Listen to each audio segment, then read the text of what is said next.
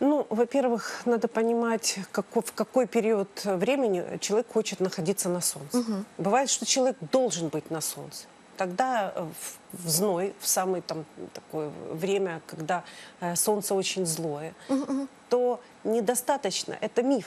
Солнцезащитное средство, чтобы оно полностью защитило кожу, на самом деле это все миф. Так. Есть белые рубашки из легчайшего батиста с длинными рукавами, есть шляпки, есть панамы, есть э, блайзеры, есть все, что еще дополнительно все-таки от солнца надо себя защищать такой одеждой. Що може бути більш ефективним навіть, ніж сонцезахисний засіб, правильно я розумію? Так. Так, Да. дякую. Послухаємо ще одне запитання. Добрий день, ви в ефірі. А, Можно говорить? Так, прошу, будь ласка. Да. Пожа- Пожалуйста, скажите, а, ответьте на такой вопрос. Может ли солнце вызывать такое заболевание, как кератонит? Саме про сонце. Чи може сонце? Это заболевание кожи вы имеете в виду? Кожа, да, кожа. Дякую. Э, Я, если честно, это может быть действительно повышенная кератинизация, это может быть кератома. Это все один процесс. Я, не, мне трудно сказать, что именно имели вы в виду, но, скорее всего, это э, образование большого количества неотшелушенных чешуек кожи. И, конечно же, это как защитная реакция кожи и как поломка уже э, ДНК клеток кожи, и они начинают так накопычиваться, на- набираться в такие кератомы. Э, конечно же, в первую очередь, солнце здесь является фактором Такая самым сбилище. активным.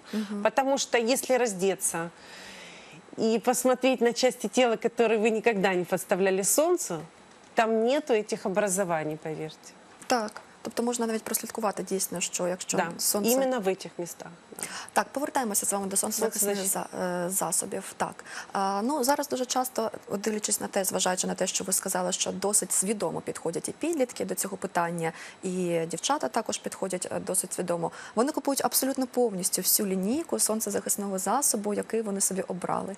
Яким чином взагалі регулювати? І чи можна обрати собі сонцезахисний е, засіб один універсальний? Чи все таки краще декілька на різноманітні випадки? Вы знаете, есть. Есть универсальные средства. Ведь надо не забывать, что мы иногда попадаем в, марк- э, в линию маркетологовой Маркетологічних, дорожечки так, такой. Так, це правда.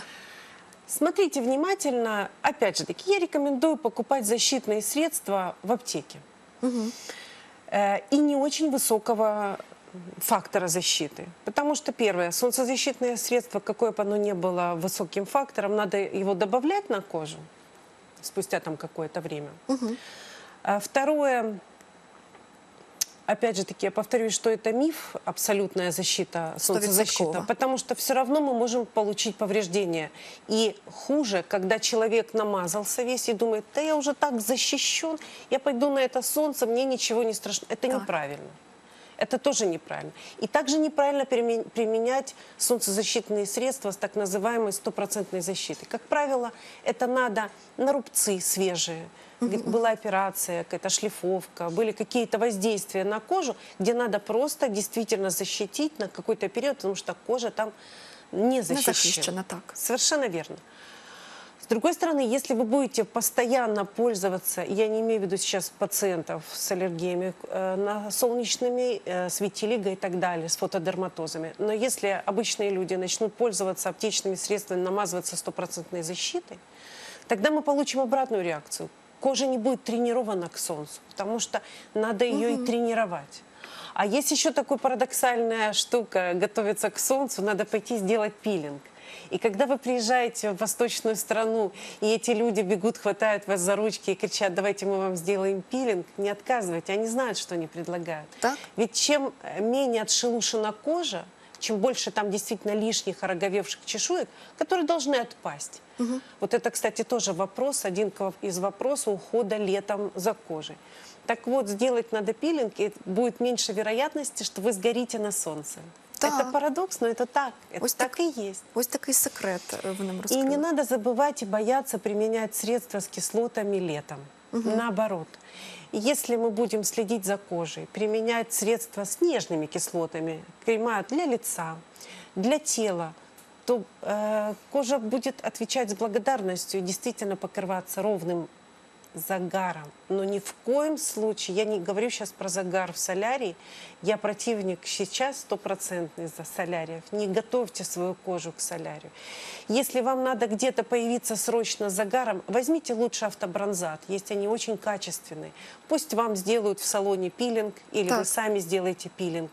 После этого нанесут вам на, на тело этот автобронзат, потому что если сейчас мне сейчас все прислушаются и первый раз никогда не применяли, то так как и кожа, так и ладошки покроются желтеньким, Так потом так. захочется еще перчаточки одеть. Да, пусть кто-то вам это нанесет в перчатках, этот автобронзат, но не бегите в солярий покрываться этим э, лучами, которые вызывают мутации, вы получите действительно ответ, вот такие вот вопросы уже людей в элегантном возрасте, что все они покрыты э, керат- э, кератон, э, Так, кератонитом. Да, ну как назвали, кератонит, ну такое.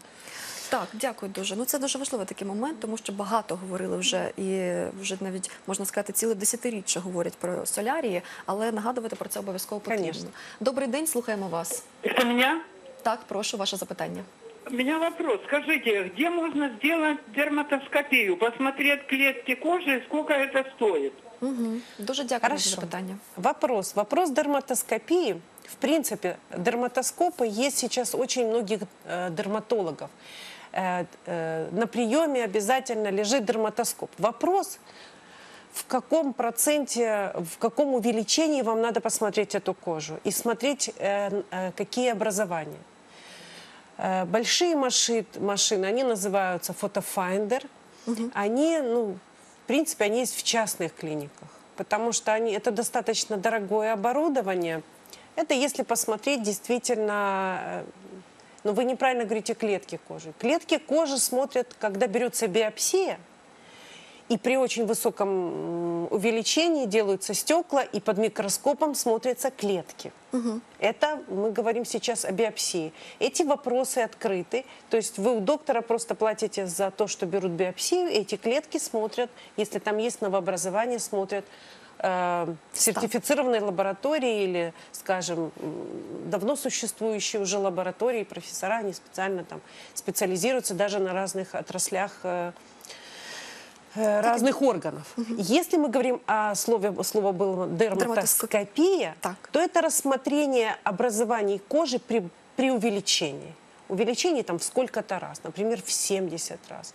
Но, как правило, сам, необходимость дерматоскопии определяет сам доктор, если ему нужно высшее э, разрешение посмотреть это образование. Тобто це просто показання. Ну просто показання Просто для- рассмотреть. для диагноза. Стопроцентную диагноз по дерматоскопии поставить нельзя. Стопроцентный диагноз э, 99%. Я не говорю сейчас об ошибке. Ошибках, но в очень большой процент вероятность постановки диагноза – это биопсия и действительно микроскопия клеток кожи, какие там есть атипичные или нет. Потому что, как правило, очевидно, человека интересует э, м, злокачественное образование или нет. Так, дякую дуже за е, таке роз'яснення, тому що дійсно можливо е, сказали про ді- Да. про те, яким чином діагностувати, але не зна- Был не сказали вопрос мету. еще, сколько стоит. Так. Не знаю. У нас в клинике э, эти все цены, они открыты в интернете. У кого-то надо не стесняться, приходите спрашивать. Или спросить у дерматолога. Скажите, может быть, я не так называю, может быть, мне нужна биопсия или дерматоскопия. Не стесняйтесь спрашивать. Поверьте, большинство докторов людей любят э, и относятся к ним честно. Так, дякую дуже. Пані Інно, також хочу, щоб ви сьогодні роз'яснили нам моменти з ось цими такими, можливо, також маркетологічними якимись новинками. Дуже часто зараз дівчата скуповують там різноманітні спреї для тіла, та ж там термальна вода, матуючі серветки. І, звісно, реклама говорить про те, що це якраз ті засоби, які потрібні всім влітку. Розкажіть, чи правда це чи ні, і на що краще, на яку рекламу краще не слід, як то кажуть, вестися? Прошу. К термальной воде отношусь очень хорошо. И даже часто я ее назначаю вместо примочек э, по старинке, э, потому что термальной водой невозможно, именно термальной водой невозможно пере- э, пересушить Пересушить. кожу. Наоборот, увлажнить. Потом, термальную воду, если мы не говорим о заболеваниях, хорошо применять э, на макияж. Просто не обливаться э, ею. Иногда есть такие состояния, когда я прошу действительно покрывать буквально каким-то тонким слоем э, кожу, там тело, какую-то часть ноги, например. А, как правило, делается облачко, и в него надо зайти. Термальной водой прекрасно пользоваться в машине. Эти средства помогают нам не повышать э, общую температуру кожи и вс- вследствие температуру тела и меньше возможности появления свободных радикалов. Потому что когда мы сгораем на солнце или повышается температура, конечно же, повышается и э, количество свободных радикалов. Но при термальной воде не надо забывать, что надо воду пить. Особенно летом в жару э, надо пить больше воды. Поэтому к термальной воде я хорошо отношусь. Есть еще так называемые дермальные во- воды. Это ну, почти то же самое. Так само Ну різновид. да, так? просто там нет источника, но они все равно сделали хорошую воду, которая поливает. И есть воды тоже вроде бы как бы дермальные, они могут даже заменить э, увлажняющий крем летом. То есть эта водичка, она такая содержит питательные вещества, и она может быть как э, вместо крема. Тобто, власне, ось всі ці засоби Це вони хорошо. і є, так Це вони хорошо. допомагають, Да, і да. власне можна навіть і не боятися, і Да. використовувати їх. Единственный минус – это засорение окружающей среды этими баллончиками. Ну, не знаю. Это уже на... Так. Это совершенно другой уже вопрос и тема Так. другой передачи. Так, це інша тема. Э, Пані э, Інно, уже ми- матирующие Так, промотуючи серветки, ну буквально 10 секунд. это хорошо. Так само вони. Да. Ну я просто так так само розумію, що вони Есть еще вопрос BB-средств. Так, ну це вже у нас окрема тема. Ми дійсно про це можемо говорити. Ось е, вони також е, влітку використовуються. Так. Тому е, також будемо окремо вже з вами зустрічатися і про це говорити. Я дякую вам за нашу розмову. Дякую вам за те, що роз'яснили певні моменти. Дуже буду сподіватися, що ваших порад будуть дотримуватися наші глядачі. Дякую вам за це. Я нагадаю, що про те, як доглядати за шкірою влітку, ми сьогодні говорили з лікарем-дерматологом Інною Літус. На цьому ми завершимо корисні поради і передаємо слово інформаційній редакції новин. Після новин та новин спорту ми незмінно зустрінемося з вами у депутатській приймальні, до якої сьогодні завітає депутат Київської міської ради Дмитро Гордон. Нам справді буде про що поговорити, тому не перемикайтесь.